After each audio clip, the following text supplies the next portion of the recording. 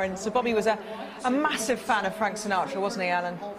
He was absolutely, yeah. He was. Um, he loved his music. He, he, in his room before the uh, before the games, you could often see him sitting there listening to his music. Not that we would listen to it, but he would. Well, I'm sure he'd enjoy this. Laura's going to sing "My Way."